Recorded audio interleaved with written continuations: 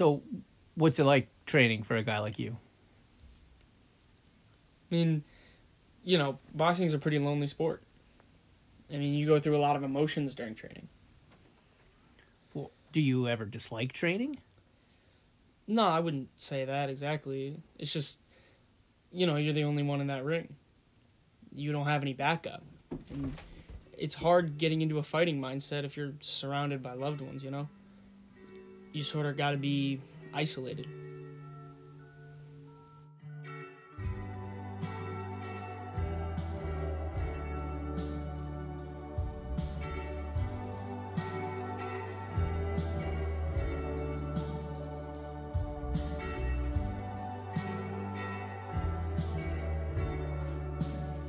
Well, do you ever even see your family? Yeah, of course. Of course I see them. I mean, they live with me, so, you know, I see them all the time. But, you know, when I'm in training season and I wake up, you know, I'm alone. When I get home from school, I'm alone. When I train, I'm alone.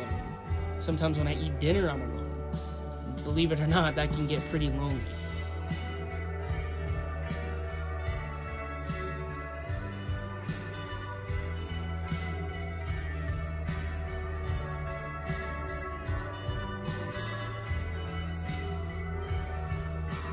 So, what kind of emotions do you go through when you're training?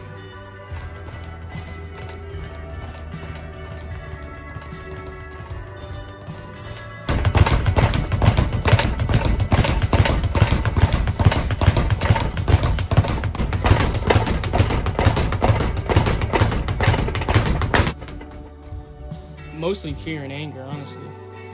I mean, you're just like the other guy. I mean, he's feeling the same thing you are. And that's why it's hard to be around others.